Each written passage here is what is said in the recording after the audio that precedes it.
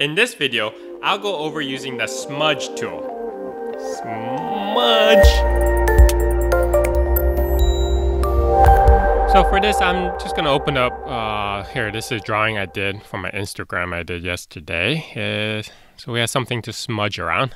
I try to draw every day and I, I thought of, I saw my boys playing some kind of war game in their fort that they created and they graciously let their younger sister join them. It was really cute. She even put on her pink raincoat.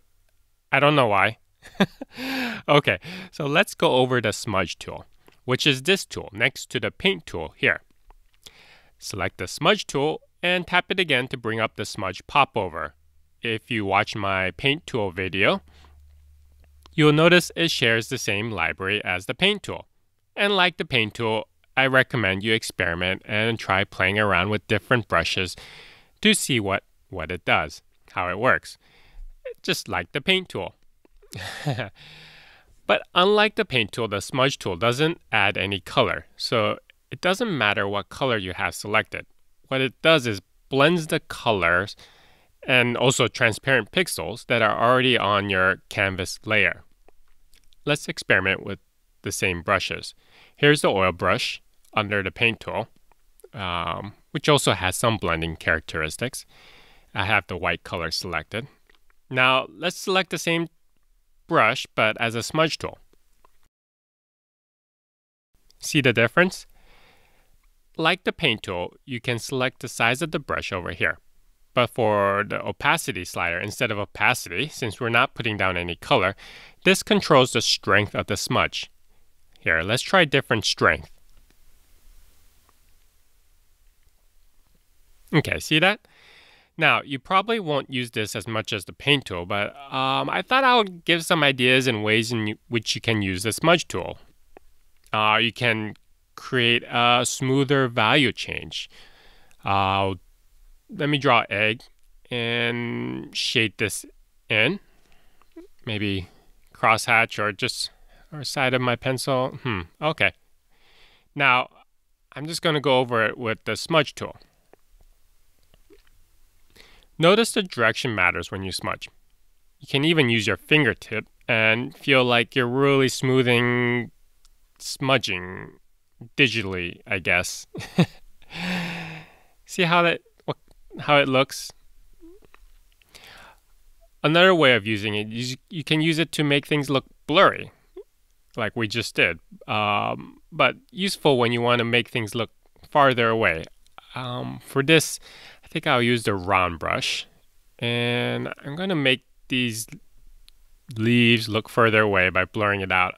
And I'm just going back and forth. Um, so now that now they feel more part of the background. You can also do things like motion blur, kind of give it that motion blur effect. Pretty cool, right? You can also use it to mix colors. Uh, for this, let's use another brush. I'll try the oil brush again here. Uh, let's give these trees more of an oil painted look. Again, direction matters. If you go perpendicular to a line, it'll probably disappear. Notice the colors will get more muted as they blend together. So there's more of a, this is more of a oil painted effect. It's cool. But um, then why, why not just use the oil brush, right? Mm, I guess it just depends. Another thing I like to do is use the smudge tool to take away edges.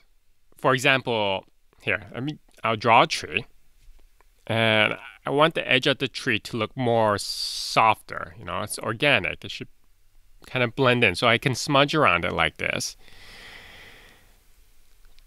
and give it that kind of effect. Or also, I like to do this to lines. You, um, you can see what the lines I did to my duck here. This is Fluffy. She's our only white or gray duck, so she's easy to tell apart. Since the line has two edges, um, here, let me do an example here. Looking at the black line on my daughter's raincoat, I can blur the inside edge to soften it and shade it, but keep the outside edge of the line. Here, I'll, I'm direct, I'm smudging in the direction of the line. I could also blur the line between the raincoat and face, give it a bit more shading or here.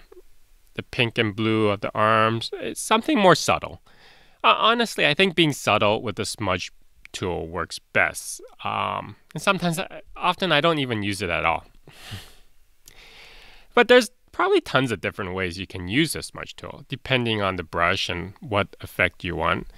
Uh, so I recommend just playing around with it and get a feel for it. So that's it for the smudge tool.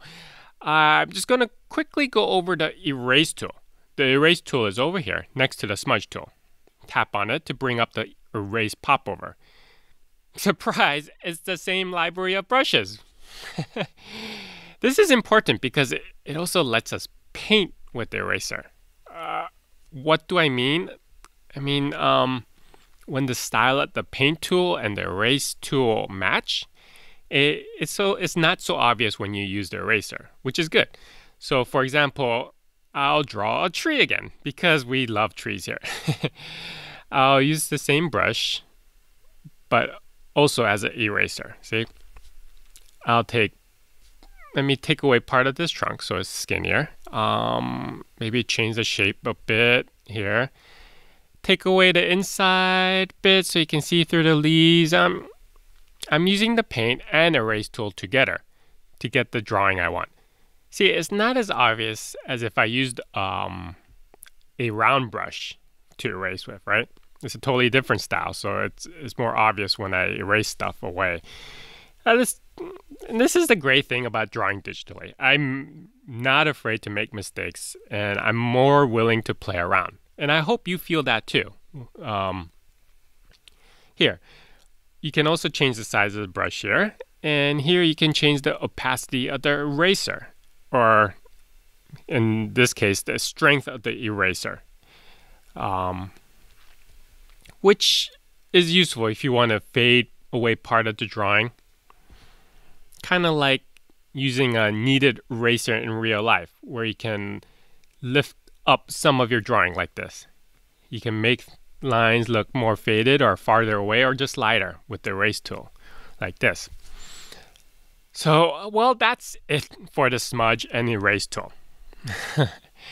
Looking at the toolbar, I think our next tutorial should be about layers and all the cool things you can do with layers.